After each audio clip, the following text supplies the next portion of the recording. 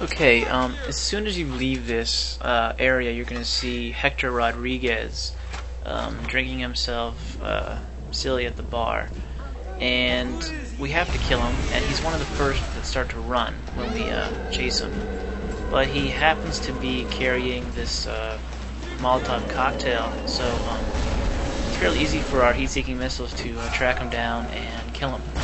So it takes um, two to three, and he's uh, dead, and it's very easy.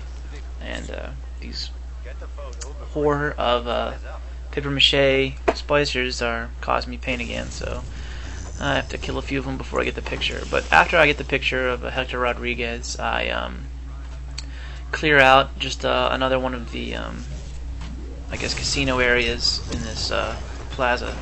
So um, I'll do that. I'll set off an alarm. Um, I don't know how it gets set off, and instead of disabling it, I just kind of wait it out in uh, camouflage. So um, I really didn't want to reshoot it. Um, I really didn't feel it was necessary to uh, avoid the alarm. So just letting you know. See you then. You're not a moth. You're an angel. I've never.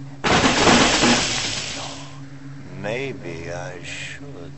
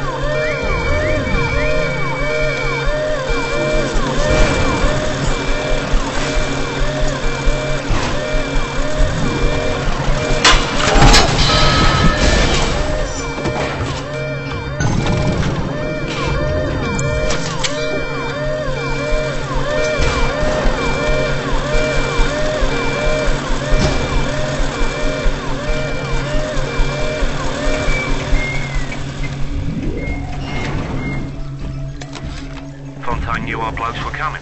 We were done over. Then splicers come screaming out the woodwork. Burping fire, spitting ice. Demons out of the Bible they were. I've never seen nothing like it. It wasn't a business he was building. It was an army.